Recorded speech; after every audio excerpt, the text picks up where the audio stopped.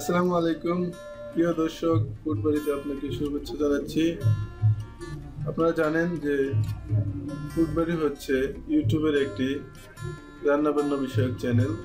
তো আমরা এখানে স্পাইসি অ্যান্ড ডেলিসিয়াস মজাদার যত সব খাবার আছে তা তৈরি করে দেখেন আশা করছি আপনারা আমাদের সাথে থাকবেন। আমাদের জন্য দোয়া করবেন। আর আমাদের চ্যানেলটি সাবস্ক্রাইব করে রাখবেন। তো আজকে আমরা একটা নতুন রেসিপি নিয়ে এসেছি, সেটা হচ্ছে আলুর চিপস আমরা রাস্তাঘাটে সবসময় এই আলুর চিপস দেখতে পাই, যে যেটা কিনা হকাররা নিয়ে আসে, বলে, আলুর চিপস আলুর চিপস তো আজকে আমরা সেই আলুর চিপস করে দেখাবো।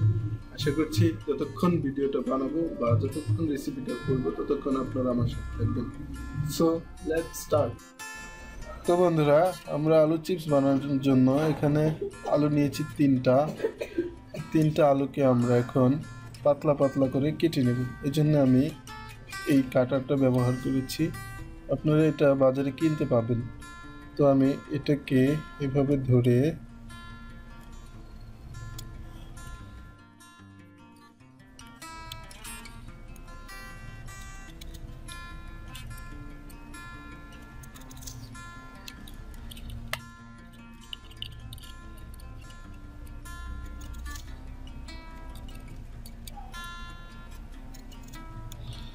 আপনারা ইচ্ছা করলে এটাকে মোটা করে অথবা চিকন করে যেভাবে ইচ্ছা সেভাবেই এই মেশিনটা দিয়ে কেটে নিতে পারবে এটা করা খুবই সহজ।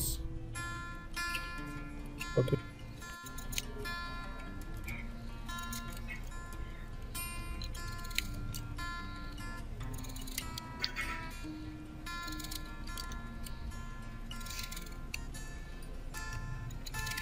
আমাদের আলু কাটা হয়ে গেছে।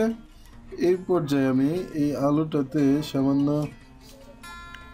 লবণ দিব। লবণ দিয়ে এতে পানি দিয়ে ভিজিয়ে রাখব দশ মিনিটের মতো।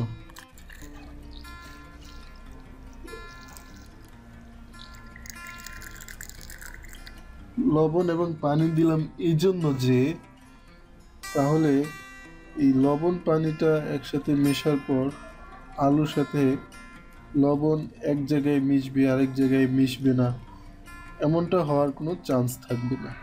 তাই আমি পানি দিয়ে লবণ দিয়ে আলুটাকে ভিজিয়ে নিলাম। দশ মিনিট পরে ফিরে আসছি। দশ মিনিট হয়ে গেছে, এখন আমরা এই আলুগুলোকে এই পানি থেকে তুলে নেব। তুলে আলাদা একটা পাত্রে রাখব।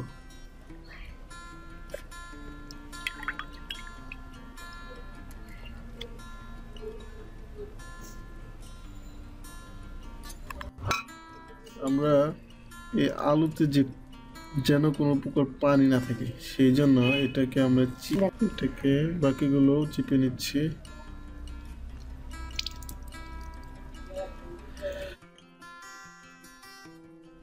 না চিপলে যেটা হবে, যখন আমরা এটাকে তেলে দিয়ে ভাজবো, আপনারা জানেন তেল ও পানি কখনো একসাথে মিশে না। তেল ও পানি একে অপরের সতীনের মতো। তাই এই সতীন, সতীনের সতীনত্ব দূর করার জন্য আমরা এই পানিগুলো ভালোভাবে চিপে নিলাম। তারপরে আরও পানি আছে মনে হচ্ছে। তো এই সন্দেহটাকে দূর করার জন্য আমরা এখানে এই আলুগুলোকে তেলে দেওয়ার আগে একটা পাত্রে দিয়ে একটু শুকিয়ে নিব। হালকা একটু ভেজে নেব যাতে করে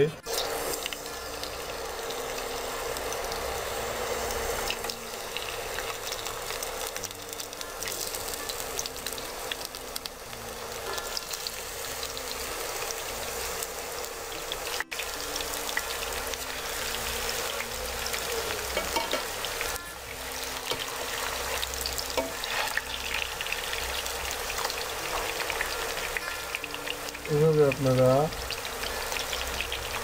তেল দিয়ে ভেজে নেবেন এটা আসলে খুবই একটা সহজ একটা রেসিপি আপনারা রাস্তাঘাটে এটা খেয়ে থাকেন অথবা অনেক রেস্টুরেন্টে এগুলো পাওয়া যায় তবে তার চেয়ে আমার মনে হয় বাসাতে এটা স্বাস্থ্যসম্মতভাবে তৈরি করে খেতে পারেন আমাদের এই ভাজিগুলো মচমচা করে ভেজে নিতে হবে। আপনারা জানেন এই পটেটো চিপসগুলো খেতে কেমন হয়? সেই অনুপাতেই আপনারা এটাকে ভেজে নেবেন। এটা আরও কিছুক্ষণ সময় লাগবে হতে ততক্ষণ আমরা অপেক্ষা করব। এগুলো ভাজা হয়ে গেছে এটা দিয়ে আমরা এগুলো সবগুলো তুলে নেব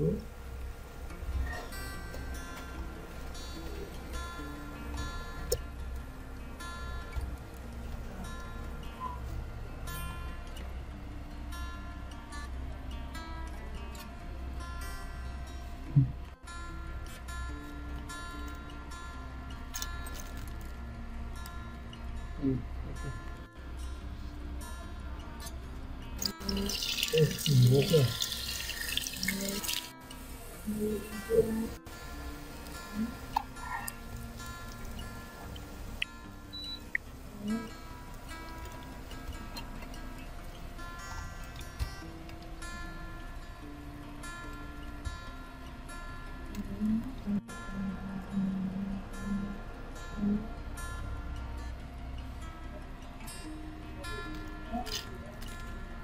চিপস ভাজা হয়ে গেছে এটা খেতে অবশ্যই অনেক সুস্বাদু হবে।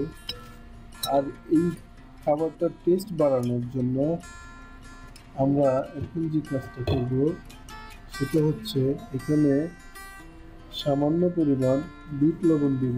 এখানে আমি এক চামচের তিন ভাগের এক ভাগ পরিমাণ বিট লবণ দিয়েছি।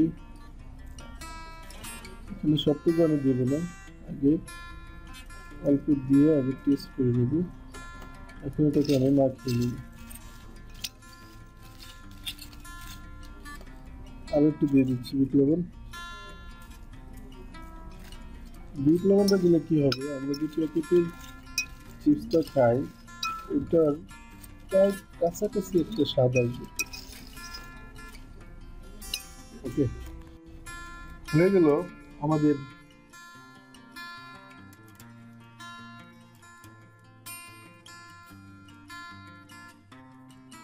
তো বন্ধুরা, দেখে নিলেন কীভাবে অতি সহজে আপনি ঘরে, ঘরের মাঝেই স্বাস্থ্যসম্মতভাবে এই আলুর চিপস তৈরি করতে পারেন।